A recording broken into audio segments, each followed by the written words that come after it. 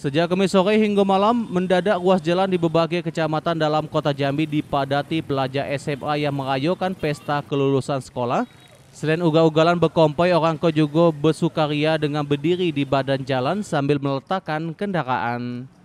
Di antaranya kejadian tersebut di Kecamatan Kota Baru, tepatnya di seputaran Tugu Keris. Situasi yang terjadi yaitu orang dan polisi kucing-kucingan sempat diusir paksa oleh Kapolsek Kota Baru namun orang hanya bubar sementara lalu balik ke lokasi.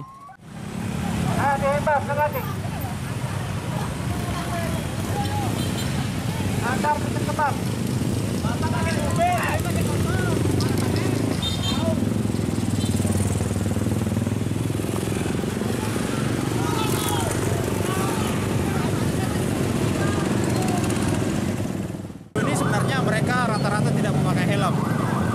Tetapi untuk dilakukan penindakan itu cukup sulit. Jadi kami cuma hanya mengatur mereka saja supaya tidak mengganggu lintas.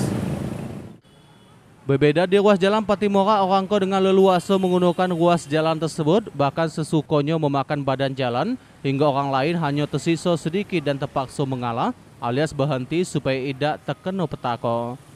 Kebisingan yang ditimbulkan orang kau yakni klakson dihidupkan beruntun, suara knalpot besar dan juga kebisingan disebabkan sorak demi sorak orang kau beryuforia, luapkan kegembiraan lulus sekolah.